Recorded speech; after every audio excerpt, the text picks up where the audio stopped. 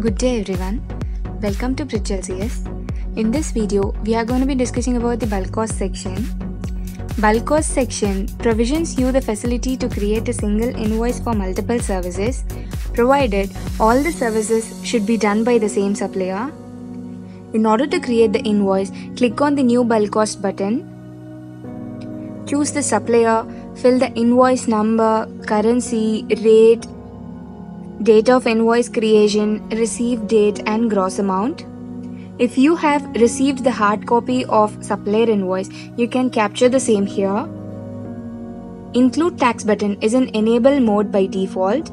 You can disable this if tax is not required. In the lower part, select the job, description, unit, quantity and price.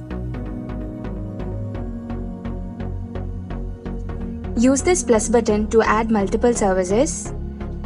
Here you can select the same job or opt for a different one based on your requirement.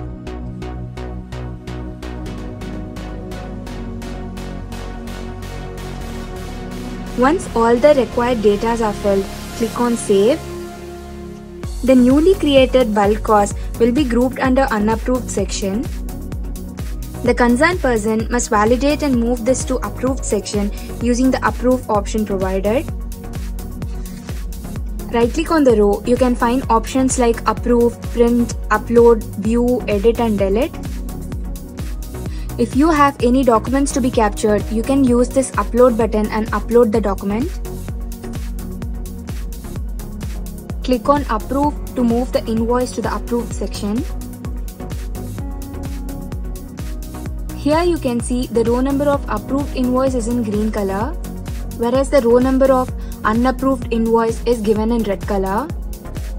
This is for your quicker identification. Here you will get fields like name of the supplier, currency, invoice number, date, amount and the user who has approved this invoice. Double clicking on the row number provides you the option to create memo and double clicking anywhere in the row provides you the view of details entered. You can sort the data alphabetically using the filter option provided. These features are available to other sections available as well. Right click on the required data, you can find disapprove, print, upload, view and delete. Approved invoices cannot be edited. If you want to modify the data, you need to disapprove the invoice and make required changes. Click on print. This is how the invoice looks like. Cancelled section has a list of deleted invoices. If you delete the invoice, the same will be moved to the cancel section. Deleted data cannot be retrieved. The row number here is in orange color. Right click on the cancelled invoice, you'll get only the view option. This is all about this video. I hope you would have found this useful. Thank you for watching.